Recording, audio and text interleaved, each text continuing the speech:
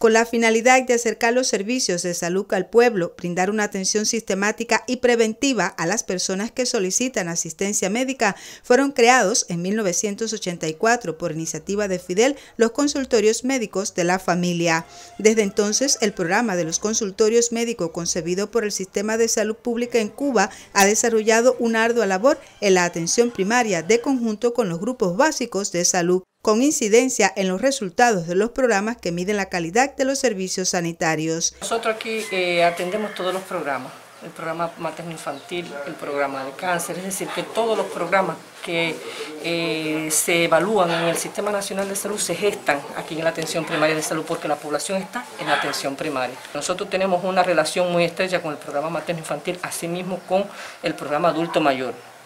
que es un programa también que se lleva que lo tenemos implementado en todos los consultorios donde nosotros hacemos, los médicos hacen el examen periódico de salud, tenemos pacientes encamados, tenemos, varios, tenemos tres pacientes encamados, tenemos una paciente centenaria que la tenemos que visitar todos los meses juntos con el, trabajador social del grupo básico de trabajo, es decir, que tenemos que tener mucha relación el grupo básico de trabajo junto con nosotros porque es una pirámide. El grupo básico de trabajo nos supervisa, nos controla, nos asesora metodológicamente a nosotros los consultorios médicos de la familia y nosotros hacemos las acciones en las áreas de salud. El municipio cuenta con un total de 39 consultorios médicos de la familia que dan cobertura a la población en los consejos populares y garantizan junto a los grupos básicos de trabajo la atención primaria de salud. Orientamos a los consultorios, sobre todo al equipo básico de salud completo, médico y enfermera, sobre las estrategias a seguir para modificar los principales problemas de salud que existen en la comunidad. Trabajar sobre ello y prevenir todas las enfermedades, sobre todo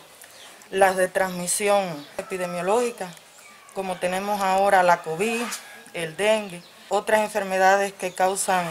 sobre todo síndromes febriles inespecíficos como eh, el Zika, el chikungunya y eh, sobre todo darle todas estas orientaciones, actualizarlo desde el punto de vista eh, académico, prepararlos para que puedan enfrentar todo este tipo de